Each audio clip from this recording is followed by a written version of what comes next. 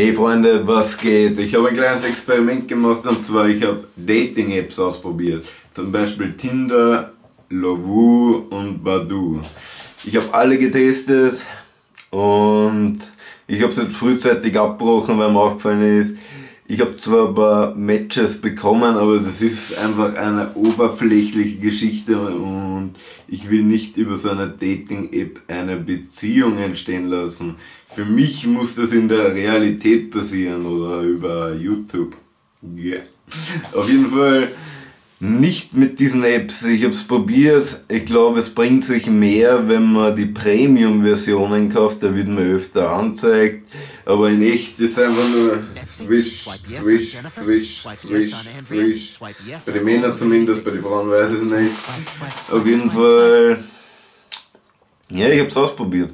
Und mein Fazit ist, dass es komplett unnötig ist. Für mich auf jeden Fall. Wenn Sie das mögt, also ich brauche es auf jeden Fall nicht, habe ich das Experiment frühzeitig abgebrochen.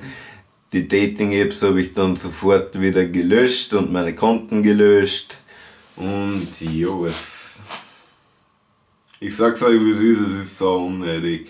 Wenn ich eine Freundin will, dann will ich es in der Realität finden und nicht über irgendeine Dating-Seite oder Dating-App. Ich weiß nicht, da bin ich ein bisschen altmodisch, glaube ich. Aber sowas ist eher nichts für mich. Probiert es selber aus, schreibt eure Erfahrungen in die Kommentare. Und jo, das ist nur ein kurzer Real Talk jetzt eigentlich. Ich wollte nur sagen, dass ich es ausprobiert habe und ich finde es komplett unnötig. Und jo. Aber mich würde interessieren, ob ihr gute Erfahrungen damit habt, vielleicht sogar eure Traumfrau gefunden habt durch diese App. Also schreibt in die Kommentare, wenn genug Kommentare da sind, werde ich ein extra Video dazu machen. Und das war's eigentlich heute. Sorry für das ein bisschen kürzere Video. Aber dafür kommt nächste Woche wahrscheinlich wieder Sheet zu Storytime oder Sheet zu Talk. Auf jeden Fall bleibt fresh und peace out, Freunde.